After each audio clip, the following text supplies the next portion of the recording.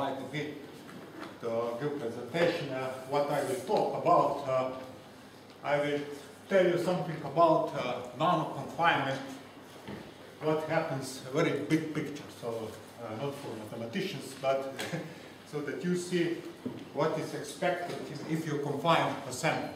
So because the behavior changes, and uh, because there is not much time, then I will roughly address also what happens if you add nanoparticles, and in this context, I will emphasize the impact of uh, disorder, uh, disorder, and uh, you know, the whole story will be based on some characteristic lengths that you see how they enter the system.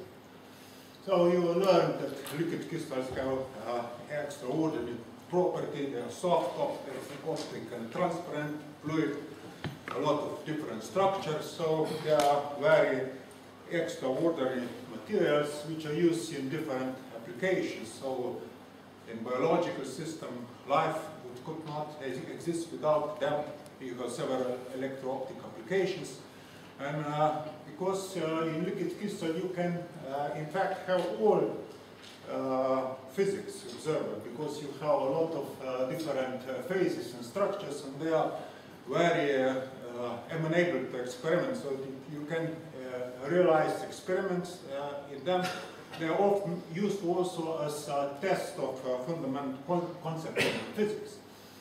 And so if you confine a liquid crystal and in addition you add some nanoparticles, you even add this complexity. So this is a typical representative of a complex uh, system. And so uh, what I will talk about, first I will uh, address uh, severely confined liquid crystals. You will see what happens, but uh, on mesoscopic level, but it works rather good.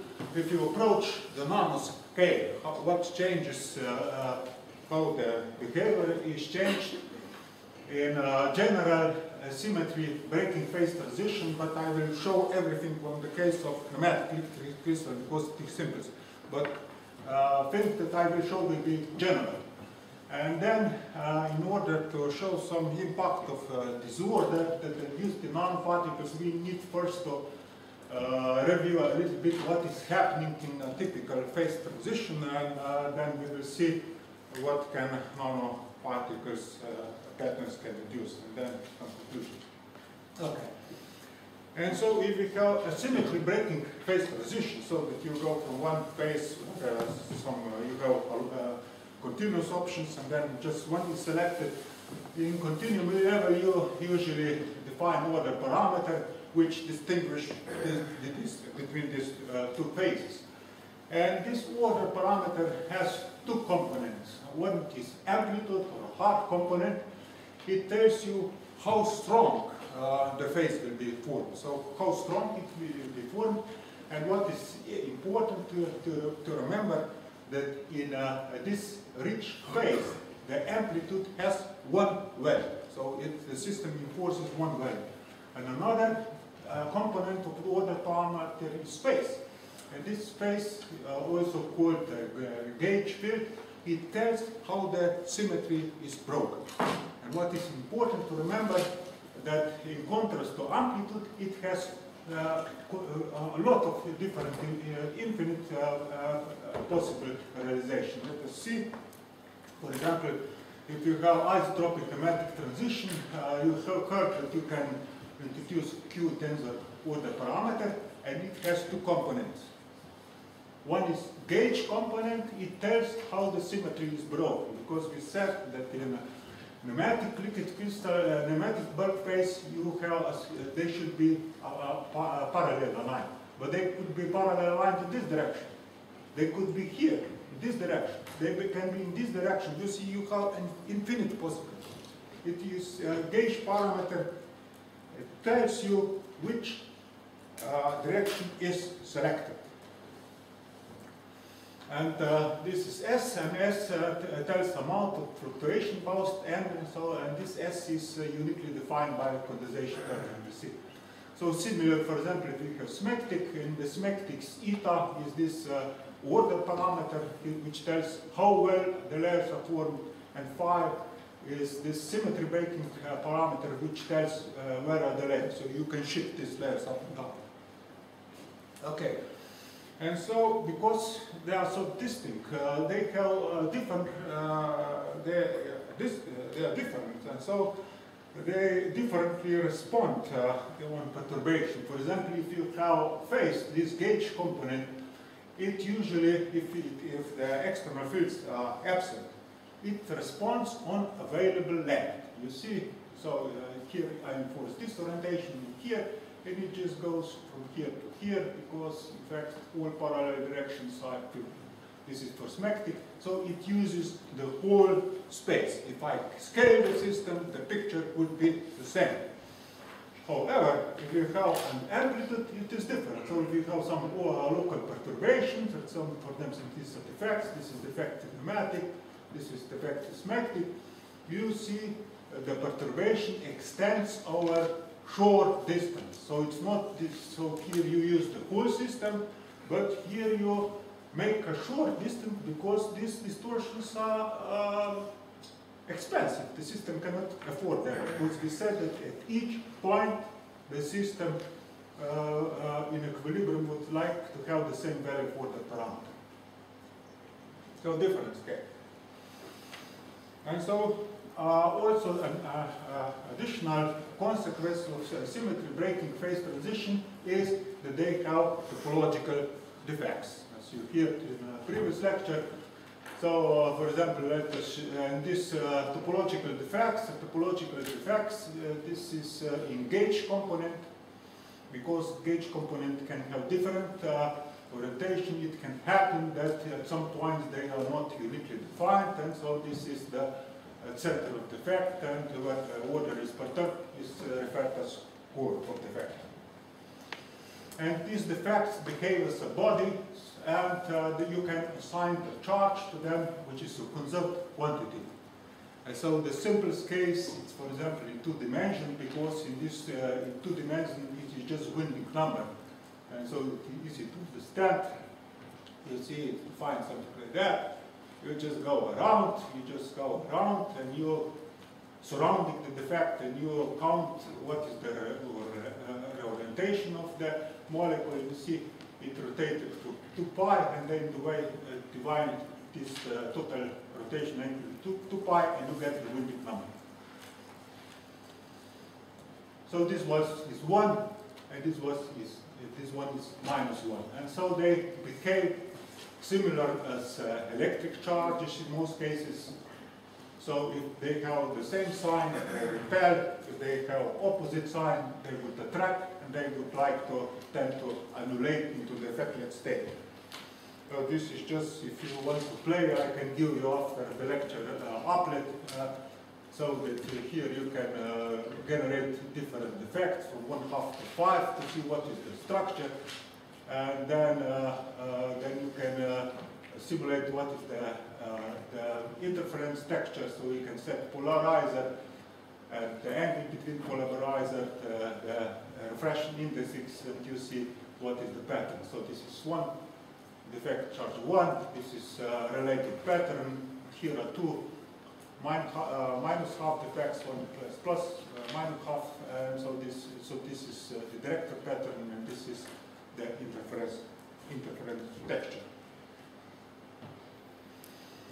Okay, let us now confine liquid crystals and uh, uh, uh, look roughly what is happening if you confine the system. Because when you buy liquid crystal, you get bulk properties, but when you confine it, which is for, of interest for several applications, the, the properties can drastically change.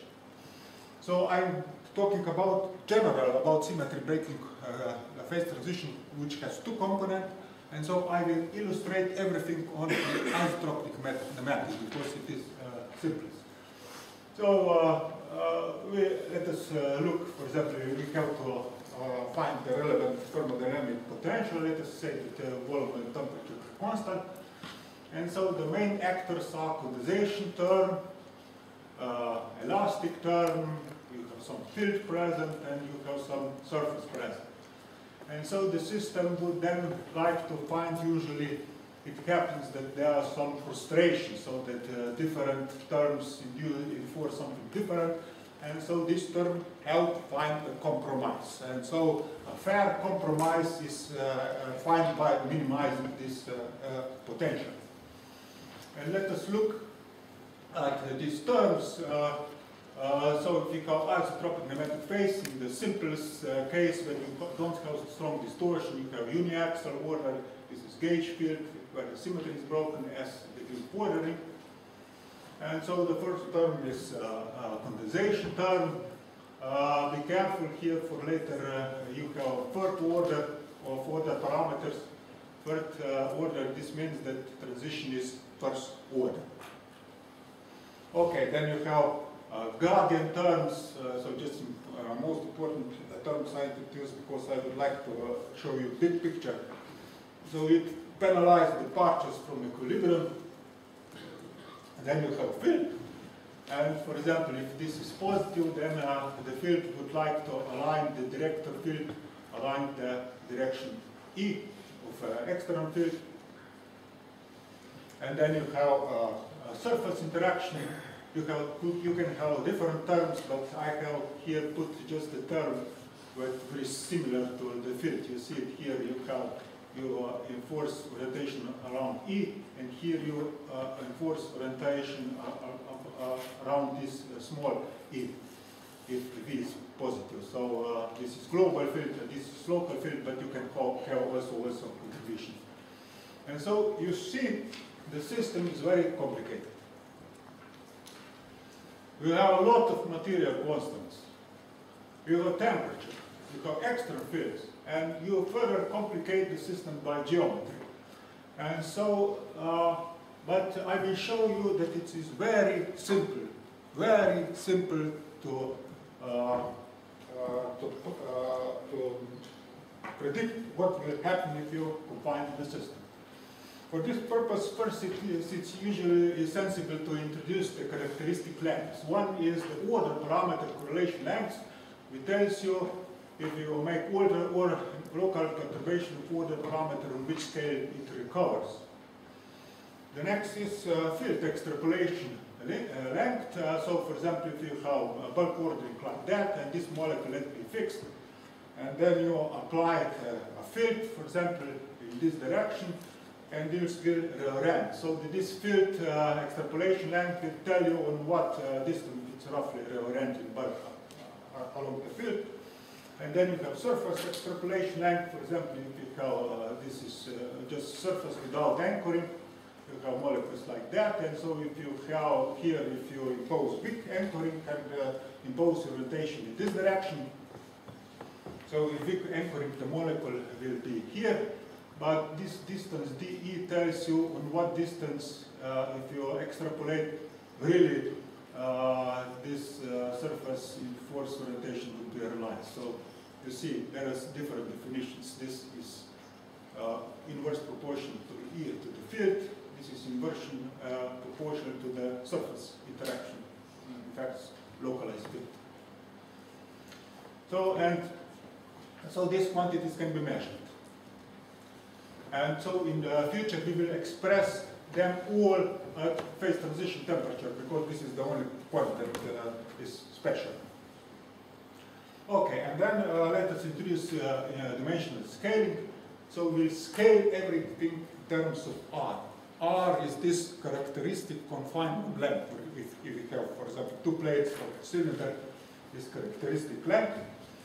And uh, uh, we will scale for uh, later purposes also order parameter with respect to value of order, para order parameter of the, of the transition. And you get the following expression. So these are dimensionless quantities, and so you see what you get. You get uh, explicit dependence on R on the cavity size, but R is also hidden here. But this is the strongest dependence. This is important so because immediately from this picture you can know which term is important because you know this quantity, are material properties, you know that. And so, for example, if R is very large, uh, you see, for example, if, uh, let us uh, switch this term, for example, off, if R is very large, then this term, you see, you have to satisfy this term, because if this is large, if you make small variation in this uh, uh, contribution, then you will make large changes in the free energy. So you should uh, satisfy the strongest uh, uh, uh, term in the, this expansion. Let me just show first for, let us first estimate the gauge component, so the director field inside. So if you have gauge component, if you have, let us say that the, the field is zero, uh, the, uh, the, this condensation field does not uh, uh, contain the gauge component. So you are just left with elastic term and surface term. And let us suppose that you have a cavity which enforces homeotropic anchoring and if this uh, uh, value is uh, small, you, you, see that this is small. If you make here changes, it doesn't matter. So you have to listen to elastic term. So the elastic term is crucial. So for this reason, in this case, you will have uh, essentially uniform structure. On the other hand, if this is large, then you should obey this guide, not this guide. So you can forget about this guide and so in this case, you will uh, obey the surface condition that you could realize on this structure. So it depends on the elastic constants. Okay, let us now go to the order parameter, or the order parameter. So which tells you what is the phase of the system. In this case, you, we have to add also this condensation term. And uh, uh, let us, to estimate behavior, let us uh, replace inside uh, uh, all these quantities with average. And so we replace the order parameter with average value. And so let us roughly look. Uh, so you have condensation term, you have this T is uh, scale temperature, you have quadratic cubic square to the fourth power. So elastic term, basically, it gives you uh, a term proportional to S square and this is the average distortion of the gauge field in the uh, system. You know, if this, uh, if frustration is realized, we said that it will be realized on the geometrically both lengths, so this is of order one, if, if distortion is present. And then is the field, which is linear, with S and P, P2 is Legendre polynomial, so this is the angle between the, the director and the field. And then you have the surface, in the case that I showed is linear contribution, and this is the angle between the surface and. And so if you collect all those terms together, you get a very simple expression. So it started with very complicated system. It has some 10 independent quantities. And you finish with a system that is dependent just on two quantities. Just on two quantities. And so this is easily, you can compute this behavior of this system. And this quantities uh, depends on more detail, which you can, uh, uh. So this, this, effective temperature, in fact, uh, what includes? It includes the real temperature and it includes the uh, distortion, elastic distortion. And then you have this linear, uh, okay, sorry. And then you have this linear term, unique sigma. This includes surface contribution and includes the external field. And so if you uh, change this sigma, for example, if sigma is zero, so that you bulk, you bulk liquid crystal, you have first order resolution. So when you increase the, uh, this surface contribution either by increasing field or you see by decreasing R, if you decrease R, uh, then uh, you get uh, uh, the first order remains, but you see you get Privet. But when you reach the critical point, what happens? Your phase transition is destroyed. So if you confine the system, just look at the field, for example, if you uh, the surface, it destroys the phase transition. So this is expected because the surface to volume ratio is increased, the surface has non-critical behavior and consequently, consequently, because it does not want to change, it kills the tendency of liquid crystals to, to change. Okay, let us go on. So, uh, so this is this expression just in uh, uh, everything can be expressed just in the two scale parameters. Phase transition is roughly one to sigma if sigma is smaller than one half. So this is a critical condition where the phase transition is lost. But if you are below, if you are below, you can estimate what is the the temperature shift of the phase transition. So this is contribution due to uh, uh, surface, uh, due to distortions. If the surface induces some distortions, uh, so it's square, uh, it goes 1 over r squared, and these are contribution due to the surface is a temperature shift. And uh, note uh, that here it is important uh, uh, what is the ratio of R with respect to surface extrapolation length. If this ratio is 1, then, then this distortion will be re realized if it, if it is enforced. And this is for order 1. And so the temperature shift is scaled as 1 over r squared. Uh, however, if you have if you have this regime so that r is small with respect to extrapolation length, then this will be zero, and so this uh, term will vanish. So it depends on the anchoring strength which is measured by this. Okay, here are just some uh, experimental results that uh, were done by uh, George Yanis and uh, Drago Kutnjak, my colleagues. So this is uh, 8CB confined in the contraporous glass. Okay, here you have also disorder, but uh, the surface is the most important as far the uh, phase transition is concerned. So you see you have and here you have confined system. You go down to characteristic uh, pore radius is 7,5 uh, nanometers. And this is the uh, isotropic nematic transition, you see it is bulk, and then so it is reduced, it goes down, and then the phase transition is killed by severe confinement. For example, here is just absolute value of the temperature shift. You see it is just bulk, and then you go roughly one, one over r squared. Here it decreases, and here's, here's the latent heat. Uh, so you have a latent heat. Uh, it is first order, and then when you gradually disappear, and so the phase transition vanishes and becomes gradual. So you, the surface kills the transition. But in some, uh, uh, just few years ago, they have observed something else. If you have normal confinement, they observed that instead of killing the phase transition by surface behavior, they, observed that instead the transition is replaced by second order revolution so that you have the transition, phase transition remains critical. What was happening? So then uh, my colleague uh, reproduced this in a control glass. For example, they were decreasing R, they went to uh, nanometer scales.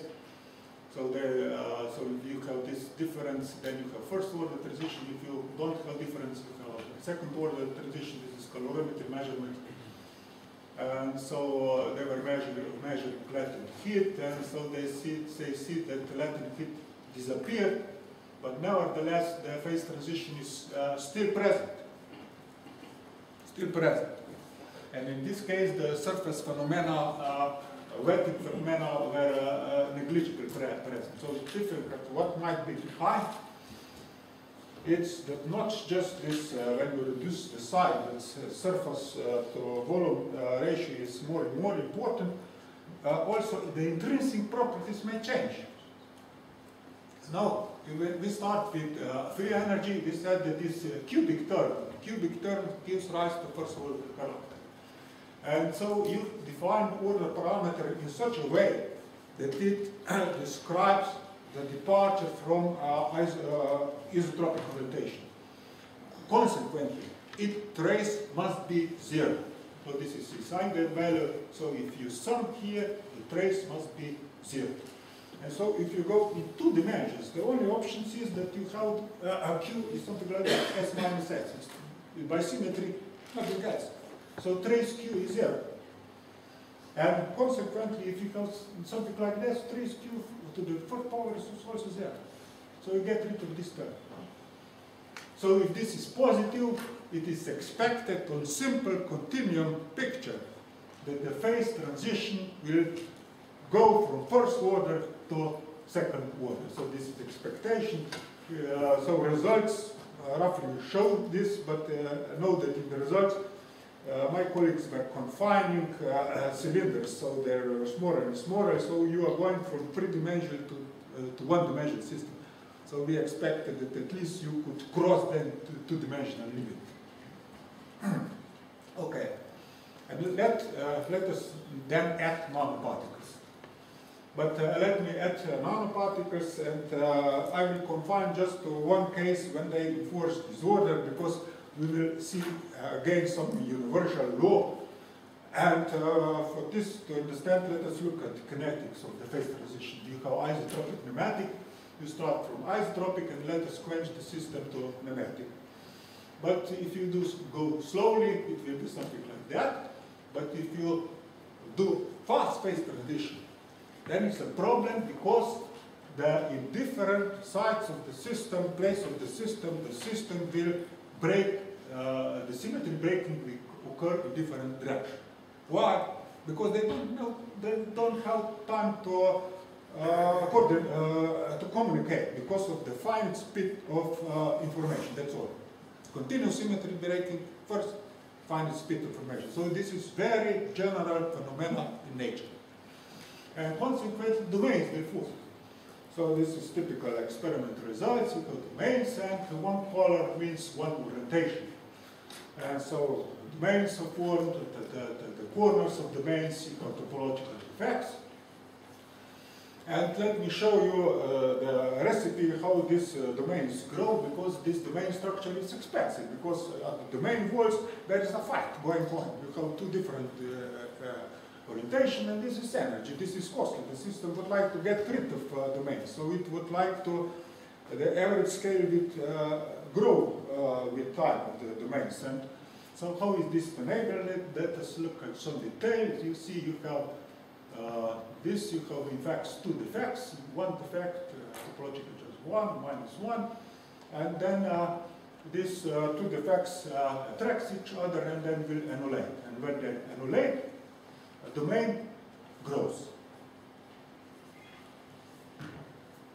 So what is important that you remember the domain growth that you observe in some quenches in, in, in symmetry breaking phase transition in general is in fact enabled by annihilation of topological charges. And so this is uh, uh, by uh, Belac, Kolikov line obtained simulation. So this is domain growth, uh, logarithmic flow, it, uh, logarithmic tendency, you see it is universal. It just depends on the number of uh, spin uh, order parameter components and dimensionality. So this means that it is not does not depend on microscopic details. So to make grow wire in order that, uh, to make system cheaper. And so this uh, uh, main growth uh, has three characteristic stages. This is general CO early regime, which is characterized by exponential growth with order parameter, amplitude.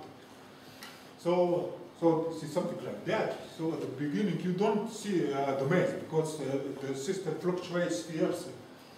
But after the order parameter, this is uh, so-called Zurek time, uh, is uh, large enough, then domains are visible. So uh, then domains are visible, so when you increase with time, you go roughly here, so you domains, okay, the domains go here, they grow with time, and finally, uh, most of uh, the defects annulate, so the, the, uh, then, you, then defects become visible, so you're talking about the uh, defect, uh, then you, the defects, uh, the uh, structure of individual defects becomes uh, visible.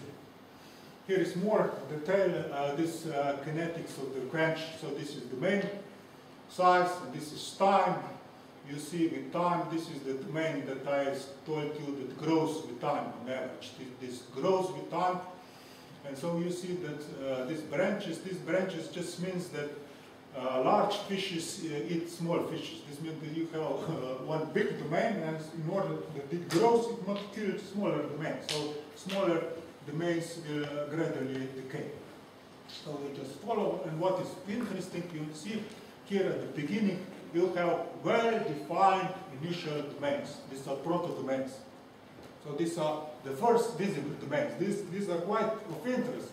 For example, this is by my colleague Zlatko Bradač measured uh, by simulation.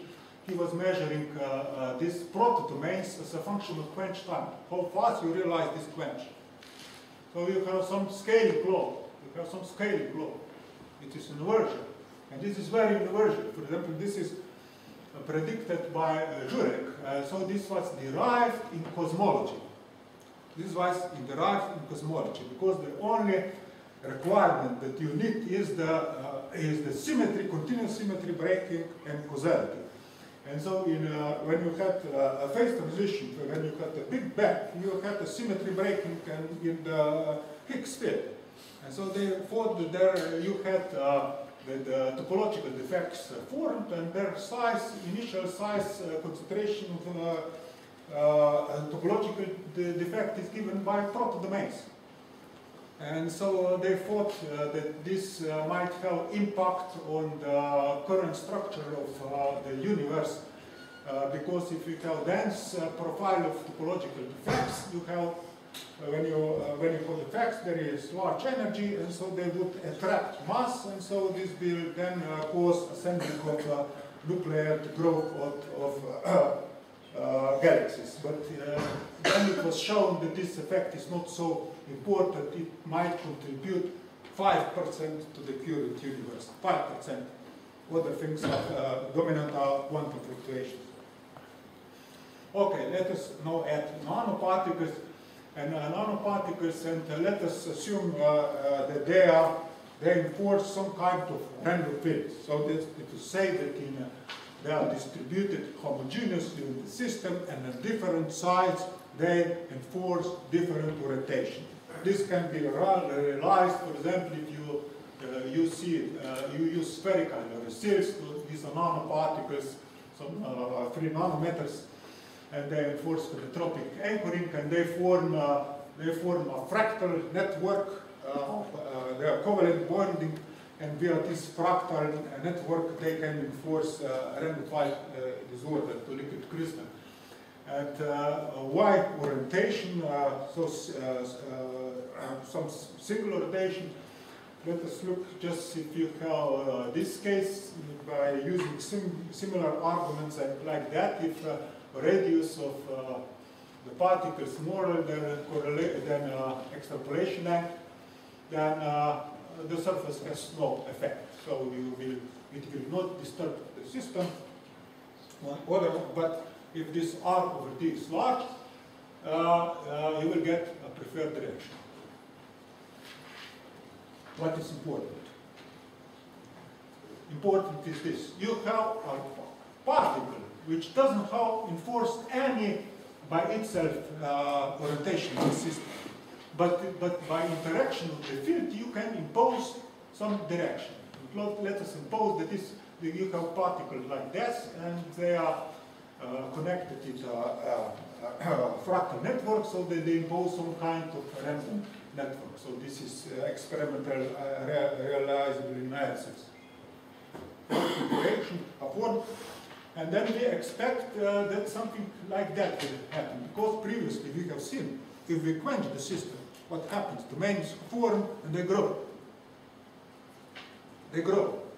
And it is one single length. We said we see that it was one single length. if we have nanoparticles, it is expected that they will they will stop the growth of domain. And so what is the domain source? And so the main actors are the elastic energy, it would like to kill off the spatial variation. So it would like to make large domains. But uh, you have nanoparticles. Nanoparticles have random, uh, randomly pose different rotation. So they would like to form small domains. So these two guys needs to make a compromise and to define the size of domains. And let us just be, uh, repeat the story that I've done for confinement. Uh, the only thing which is different here is now that we have nanoparticles, we have a lot of surfaces, we introduce the concentration of nanoparticles, and uh, the another thing is that uh, uh, the, the, the scale, the characteristic of the scale of the system is no free parameter.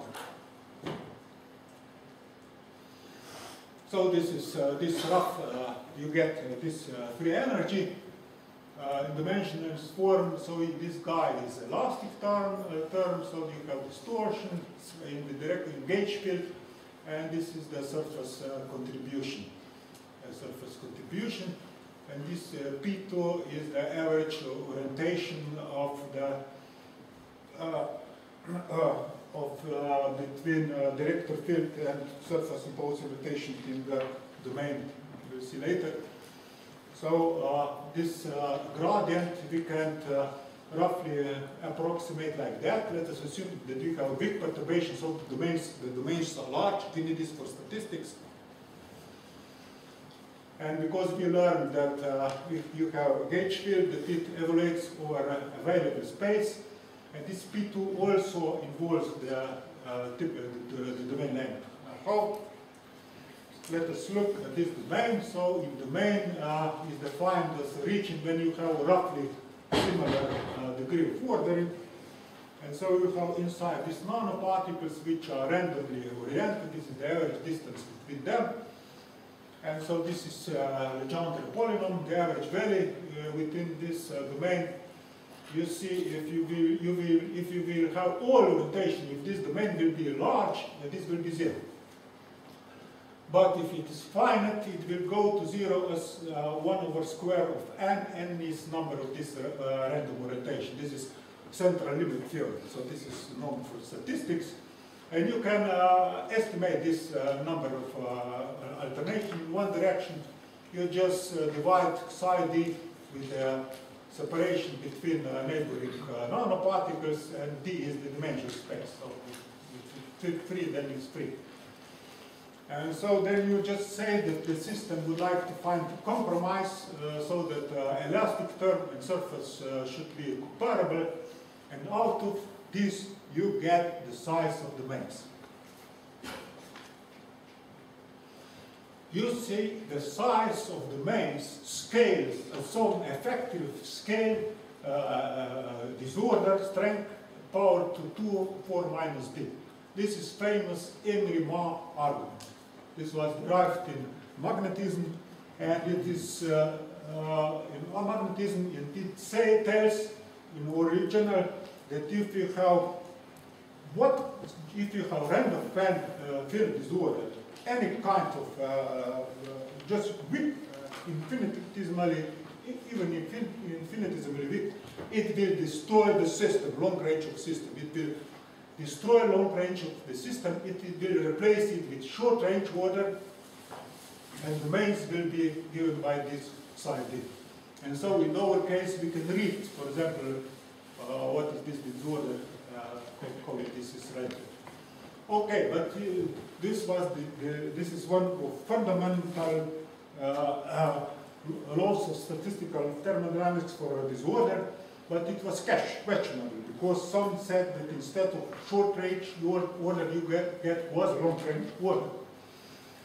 Okay, and so for example, liquid, then uh, they were testing this in liquid crystal because you see, you can uh, predict uh, this behavior also in liquid crystal. And so this was some paper by Bellini in which they showed that if you quench the system, then uh, the system seems to have short range order and this Imry-Ma theory is But the recent, yeah, but recent studies uh, show that it, uh, it is not necessary, so that it's history dependent. So that if you quench the system, then you really get short range order, and so that this uh, Imry-Ma behavior should be replaced, uh, be observed. But if you quench in the field, so that you have strong field, you can get completely different ordering. So the system has memory. This can be used for some kind of memorization. Okay, let me just conclude. Uh, so, uh, what uh, I find I want to tell you, if you uh, decrease the system size, you go, go towards nanometer, really between continuum this limit, but it seems to work. The system uh, can have quantitative, and if you press it very much, qualitative changes. The, so this is, uh, and we have sto- uh, this everything on the symmetry breaking phase transition on the case of isotropic nematic phase transition, and we see that uh, if the surface wetting is important, so that if surface interactions are important, then the transition is skilled because of the non-critical behavior of the surface. If, however, if the surface is not so strong, it can also change the character. of Why? Because you have dimensional crossover, and three-dimensional, two, three-dimensional system behave differently. Uh, first, we have seen, uh, for example, if you uh, introduce nanoparticles, there are a lot of different effects. I, I have shown you some, only one effect, when they enforce some uh, disorder, and this disorder gives rise to the main structure. And this domain structure can be controlled by controlling uh, domain size.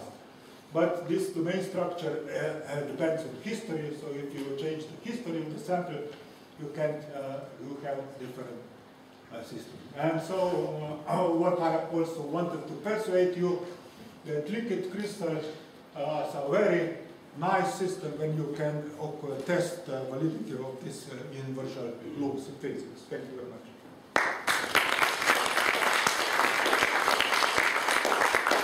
Any, uh, any questions, comments? You took us through a lot of uh, phenomena, including the Big Bang, or something, but uh, from the, from the mathematical point of view, it- it's essentially what you're saying is that uh, by appropriate choice of this interfacial thermal free energy, that's how you kind of control these different phenomena. Is that the, Sorry? is that the kind of mathematical heart of the, of the, the, the choice of the interfacial Uh, Okay, I can just uh, wanted to show, so if you have, this is a typical term that is uh, present uh, in, uh, in, uh, in nature. For example, you often see the example when this, the, the surface interaction is linear coupled with, with the order parameter. And in this case, uh, you see that when you uh, confine the system, uh, it changes the character of the phase. For example, if you, you, if you would have, a if you, it, it would be coupled with the square of the order parameter, you will, within this continuum picture, you will get just shift of the temperature. So these cases that I shown uh, are, uh, are just general, general behavior, for example, in confinement based on scaling just general uh, things case, uh, based on scaling, taking into account the order parameter and gauge field, which break symmetry, behave uh, differently if you, if you confine them. This was the main story. Okay, well, thank you very much.